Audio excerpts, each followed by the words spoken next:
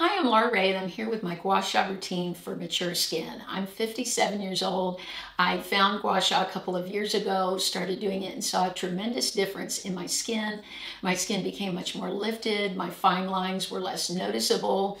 If I don't do gua sha, if I ever do take a break, I notice a difference right away. So this is a routine I try to stick with every day. I usually do gua sha for five to 10 minutes. The benefits are lifted skin, the fine lines are less noticeable, noticeable. Also lymphatic drainage. If you have puffy under eyes, this is a great way to eliminate those or at least improve it. The tools are very minimal for this. I have taken from my gua sha set two tools that I really love the best to work with today. They're clean. I wash them with soap and water. I also wash them when I'm done with my routine. And then today I've selected this jojoba oil. I've been using this for a while. I like jojoba oil. I've also used grapeseed oil on my skin.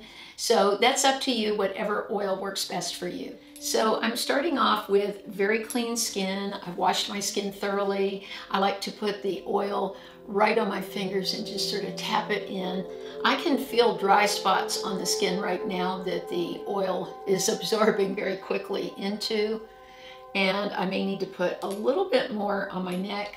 This is for slippage so that the tool is never pulling on the skin. And I'm going to start with my neck with this wider tool. And you always want to keep the gua sha as flat to the skin as you can. So I'm going to start here and loosen up the neck. Everything I do will be five times. And when I get to the end, you just do a little wiggle here.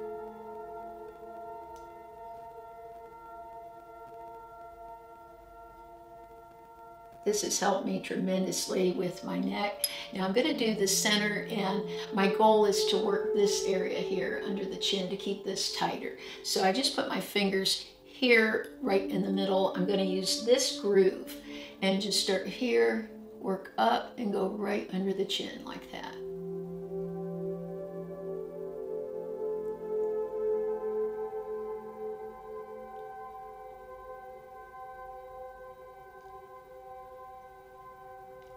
Let's go to this side of the neck. And again, I'm going to switch hands so it's a little bit easier. Go up and wiggle. Now the reason for the wiggle is just really to get the lymphatic fluid moving.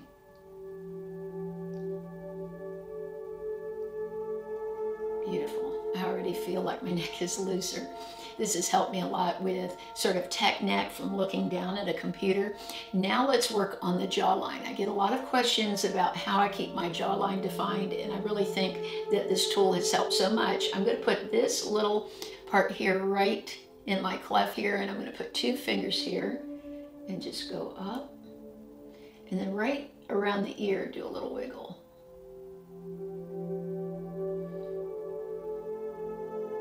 You want to use a light to medium pressure, not too hard.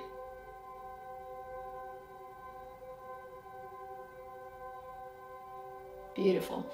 Now I want to work these lines around the lips. So I take this tool, I call this my little fish, and use this tip and do sort of zigzags up and down this area.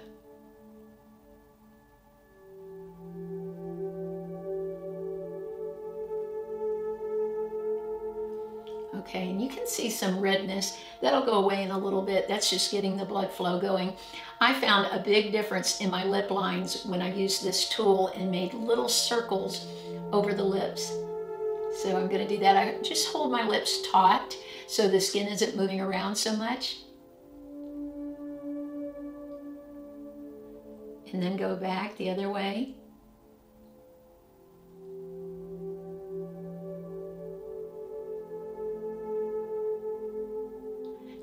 On the lower lip. I can even hear crunching like muscles that are tight, just like you would hear in a neck around my mouth.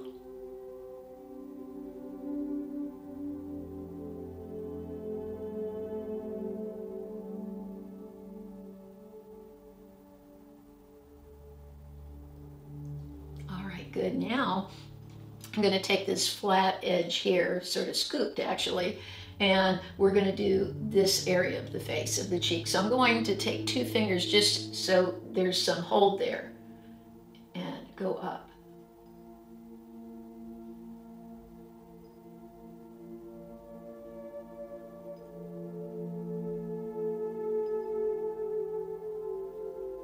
For the under eye, you can use this part of the tool and just stick with this tool, but I love to use my little fish here, and I put one finger here and very gently slide out, and then go up here and do your wiggle.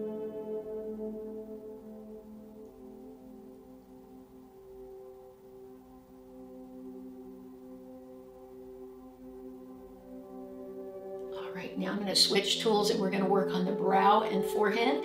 I'll be going upward this way with the tool and so I'm going to put my fingers right on the uh, bone here of the eye.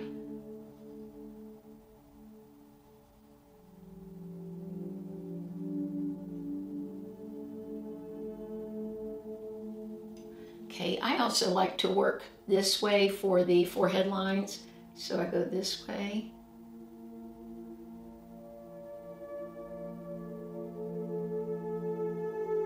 and then I work for the middle here. I sometimes will take my tool and do little zigzags in the middle like this. Just to sort of work on that area. I will find that I will hear crunching, crunching in the brows and crunching in between here of muscles that are just very knotted and tight.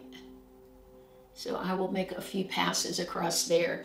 Then take this tool again and let's stop it for a minute and take a look at the, this is my right, your left when you're looking at me, and see how the two sides, see if you see any difference so far.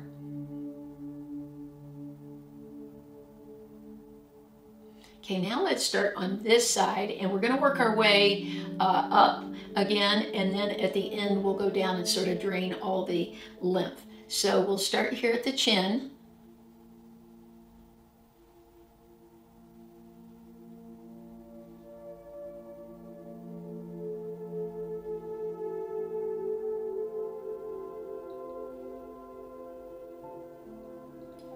And then I'll take this tool and do my little zigzag.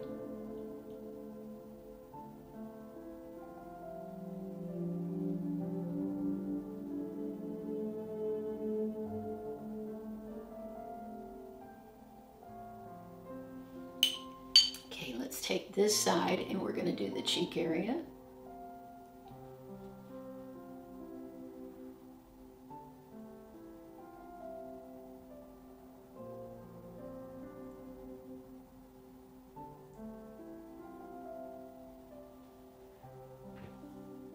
It's interesting how I feel like my sinus fluid moving. Some people will say they get a lot of drainage after they do gua sha. I've had that experience at different times also.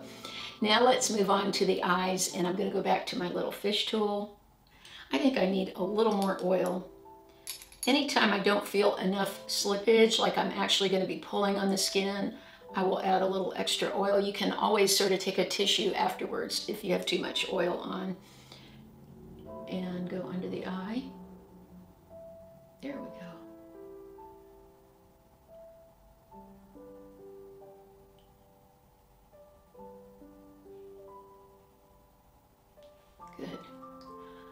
Right, so now let's go ahead and do the brow here. I'll go back to my other tool. These come in a set together, so it's all in the same set of tools.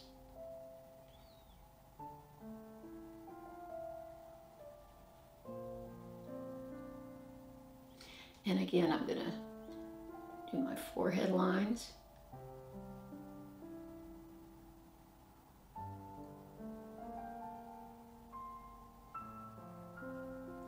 Now I will even go back to areas if I feel I want to work an extra area, maybe my eyes are extra puffy or I want to work my cheeks more, I'll go back and work that. But everything today feels pretty good. I don't see any extra puffiness or anything. So I'm going to go now and just sort of work the fluid back down here. So I'm laying my tool and just going down the neck. You can even start here. A lot of people that do gua sha, I'm not an esthetician, but those that do it, they will sometimes start here, go to the chin and then go down the neck like that. So if you want to work this area a little bit more, you can do it that way. I hear so much crunching going on.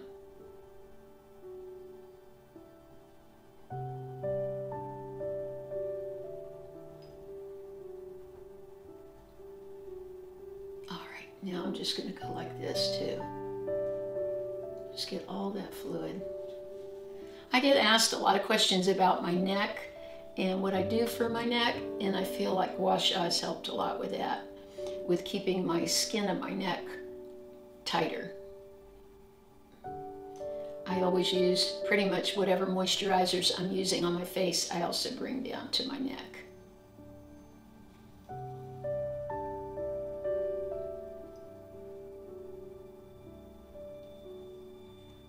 Now I'm just going to work this area, do like five strokes down like this.